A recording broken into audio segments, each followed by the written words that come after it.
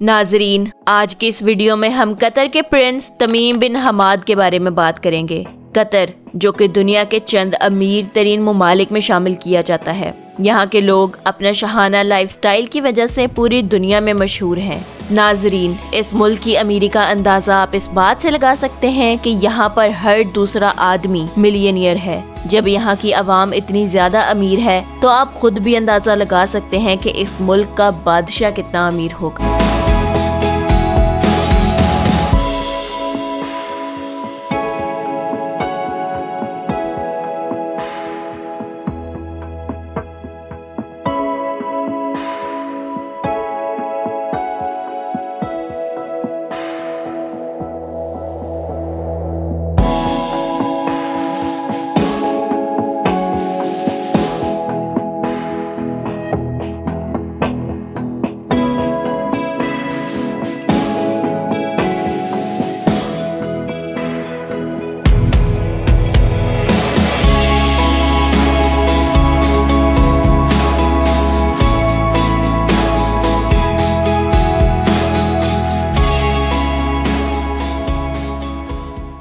Documentary junction TV की videos में आप सबको एक बार फिर से खुश आमदीद। कतर के प्रिंस तमीम बिन हमाद 3 जून 1980 में कतर के एक शहर दोहा में पैदा हुए और 2024 के हिसाब से इनकी उम्र चवालीस साल हो चुकी है। इनका पूरा नाम तमीम बिन हमाद अलसानी है। तमीम बिन हमाद अलसानी ने अपनी इब्तदाई तालीम कतरी दारकूमत दोहा से ही हासिल की। इसके बाद इनको अपनी स्कूलिंग मुकम्मल करने के लिए हसब मामूल बरतानिया, यानी इंग्लिस्तान भेज दिया गया। इन्होंने अपनी स्कूलिंग और कॉलेज की तालीम बरतानिया के मशहूर इदारे शरबोन से हासिल की। ये इदारा डोरसेट में वाक़ है। इसके बाद इन्होंने ए लेवल मुकम्मल करने के लिए उन्नीस में शुरा आफाक इदारे तहारू स्कूल में एडमिशन ले लिया। अपनी स्कूलिंग और कॉलेज की तालीम मुकम्मल करने के बाद इन्होंने ग्रेजुएशन मुकम्मल करने के लिए दुनिया की मशहूर तरीन royal military academy, Sandhurst में एडमिशन ले लिया। नाजरीन, ये वही मिलिट्री एकेडमी है जहाँ से दुबई के crown prince Hamdan bin Mohammed ने अपनी तालीम मुकम्मल की थी। नाजरीन सैंड हर्ट्स मिलिट्री एकेडमी से इम्तियाजी पोजीशन के साथ अपनी ग्रेजुएशन मुकम्मल करने के बाद शेख तमीम को कतर के मुसल्ह अफवाज में सेकेंड लेफ्टिनेंट का कमीशन मिल गया। शायद तमीम बिन हमाद से पहले कतर के क्राउन प्रिंस शेख तमीम के बड़े भाई शेख जासिम थे। मगर नामालूम वजूहत की बिना पर जानशीनी लेने से इनकार कर दिया। और 2013 में अपने बाप हमाद बिन खलीफा के तख्त छोड़ने के बाद तमीम बिन हमाद को कतर का बादशाह बना दिया गया। इसके बाद इनको मुल्क के दीगर बड़े और कलीदी अहदों से भी नवाजा गया, जिनमें 2009 में इनको कतर की मसल्ला अफवाज का डिप्टी कमांडर इन चीफ भी बनाया गया। कतर के प्रिंस को खेलों का बेहद शौक होने के साथ साथ 2015 में ये दोहा एशियन गेम्स के चेयरमैन भी रह चुके हैं।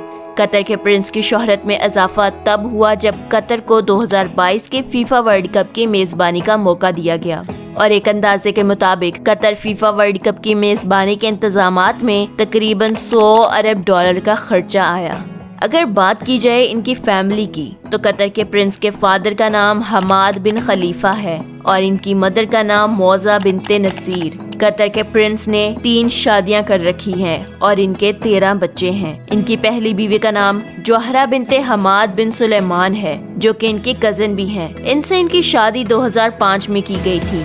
इनकी दूसरी बीवी का नाम अनूद बिनते मानी अल हिजरी है, जिससे इन्होंने 2009 में शादी की थी। इनकी तीसरी बीवी का नाम नूरा बिनते हातिल अलदोसारी है, जिससे प्रिंस ने 2014 में शादी की थी। अब हम जानेंगे क्राउन प्रिंस के घर के बारे में। आखिर ये कहाँ रहते हैं? तो कतर के प्रिंस, कतर के शहर दोहा में एक शानदार महल, रॉयल दोहा पैलेस में रहते हैं, जो कि अपनी मिसाल आप है। इस पैलेस में 100 कमरे बेल रूम्स और 500 गाड़ियाँ पार्क करने की जगह मौजूद है। इनके घर की तस्वीरों से इस बात का अंदाज़ा लगाया जा सकता है कि इनका घर सिर्फ़ घर ही नहीं, बल्कि एक आलिशान महल दिखाई देता है। नाजरीन, अब हम जानेंगे इनकी कार कलेक्शन के बारे में।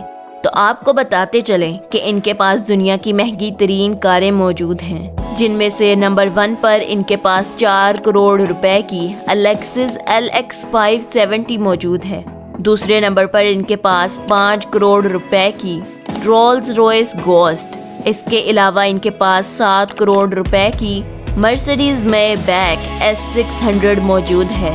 नंबर चार पर इनके पास फरारी ला फरारी और इसकी कीमत तकरीबन 12 करोड़ रुपए है। जबकि पाँचवें नंबर पर इनके पास बेंटली महसियन और इस कार की कीमत 10 करोड़ रुपए है।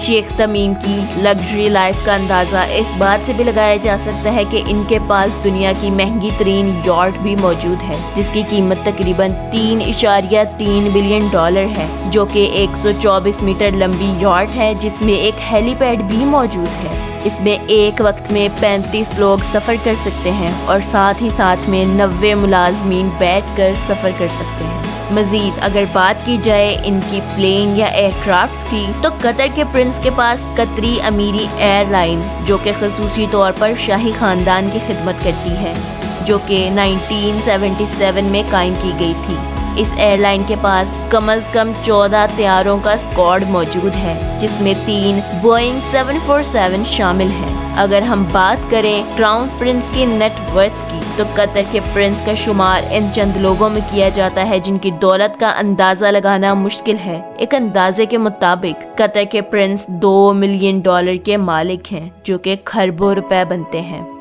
उम्मीद है नाजरीन, आपको आज की वीडियो बहुत पसंद आई होगी। इसको मज़ीद लाइक और शेयर करें।